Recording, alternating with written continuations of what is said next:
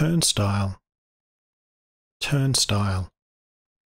All passengers had to go through a turnstile before getting on a train at the station. It won't let people pass unless the fare has been paid.